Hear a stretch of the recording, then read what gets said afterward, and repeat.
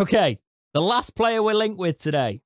Um, did I do this? I don't think I did. Right, I can't take that. I'm not that. I'm not arrogant. Right, I'm not going to do that. I'm not. Oh, look, I You- mentioned you the player, men- and now we're linked. You mentioned him before. I brought him out, but then again, also anybody who knows the lower league football would mention him as well. But I Yes. think the fan base. So about three or four episodes ago, when we were asked who we should sign next season, we, we were asked about it on a topic, and I did a lot of digging. Right, It was probably over a month ago, sort of thing. We both did our research, and I came back because we desperately needed a keeper, in my Yes. opinion, and we still do. I came back with Josh Griffiths, who is a West Brom keeper on loan at Cheltenham. And as I said, I don't know what sparked the interest in our fan base, but and I don't know if it's because we talked about it or because like there's been a link somewhere. I couldn't find a link, and that's why I'm saying where the, hell has it come from? The only link I can think is Darren Moore. Yeah, but I can't find a link in the media. I can, No. but I can, I can now see him coming into the media speculation pages because Wednesday fans are asking about him, right? Yeah. Okay, which I can, uh, could, uh, which I can probably think that they've come to their own conclusion. Doesn't matter where it come from, to be honest. I just thought it was a really interesting one. And I was like, And we "Ah, need a keeper. I'd love for him to actually, uh, to actually look at him. But yeah, so a lot of Wednesday fans have been asking the local journalists if there's any, so are we going in for him? Um, and I'll tell you what I found at the time, and I've done some further research now. The now the season's ended. So he's a 19 year old with a contract running out at the end of June. So he's he's only really been with the West Brom under 23s until the Cheltenham loan. Mm. He could be a compo situation if if we were to sign him, but I really think he's going to get a really good deal at West Brom and he's going to go out on loan if that's going to be the case. Um, he's got a 72 save percentage in League Two for a Cheltenham side that did very well and they played a back five and it was a comfortable back five. And that is the fit for me. That is the link there. Yeah. if he's going to play a back five more he wants a goalkeeper that's comfortable with that right?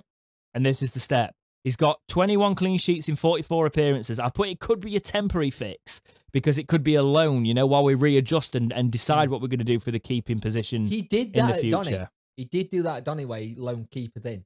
If we, I hate. I hate doing it because it's a position that's so influential. And look at United losing Dean Henderson and all that. You know, it's that's a that's a very uh, current sign of a downfall, right? But funnily enough, Ramsdale's got their Player of the Year apparently as well. But uh, it's but West Brom um, could be selling Sam Johnstone, who's now got England pedigree, and that's why I link that with that because he, I think offers could come in for him because he's obviously got that England link and they've been relegated, which means Josh Griffiths could have a chance with that relegated West Brom side. You know, because they'd already had 13 football lower league. mm-hmm. The problem He's is, West, have West Brom got a manager name yet? I know uh, Wilder's set, apparently set to have it, but have they picked anyone yet? I've not seen it. I've not seen it as uh, the time of recording this. He's conceded 37 in 44. I thought it'd be interesting to to sync it up with our other goalkeepers. His percentages. I've told you about his 72% in League Two. This is this season for our three keepers. And this is interesting, right? Because it actually made me think of them in a, in a better light. Well, some goalkeepers in a better light. So Cameron Dawson has played eight matches this season and he's conceded nine goals. So he's conceded more than he's played. Yep. 68% save percentage and three clean sheets out of those eight matches. That, if you compare it to his two leagues higher and his 72% for League Two, obviously that's over 44 appearances. That's only eight, right? That's only a 4% difference. Dawson, not too bad on that one, but we do know Dawson likes a parry and the parry has cost us. Yeah. So that's what stats don't tell you. And that's why I'm saying take it with a pinch of salt, right? Oh, God.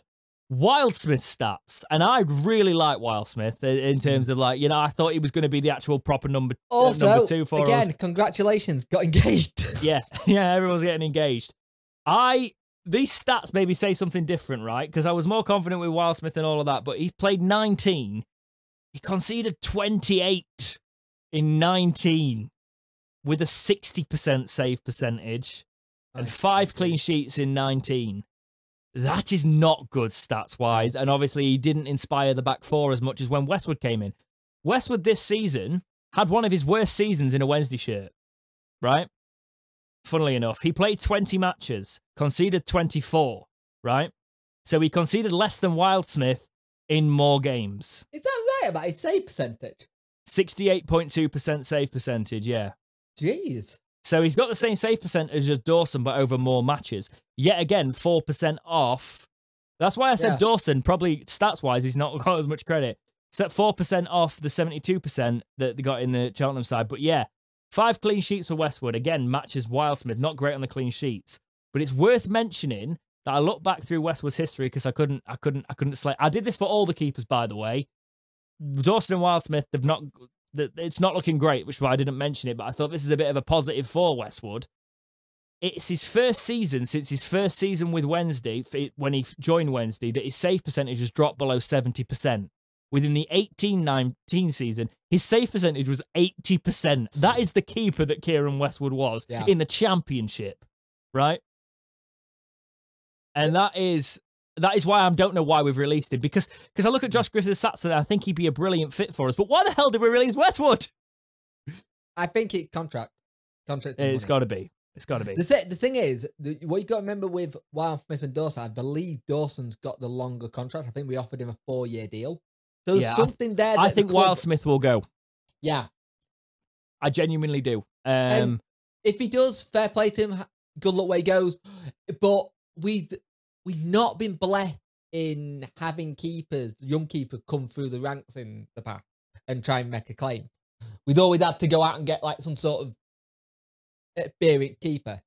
I do think that this Josh Griffiths thing, I think West Brom will give him another contract. I would be pushing everything to try and get him on a free and do the 300, 400k compo. Yeah. That'd be brilliant. That'd be a great. I don't one. think that's going to happen because he's going to take a big money deal at West Brom and probably come on loan to a. I don't know if they want to go straight into the championship, but I think for his be able to career, well, Cheltenham are up in League One now as well. Yeah, That's the thing. He back. could go back to Cheltenham because he's got that there.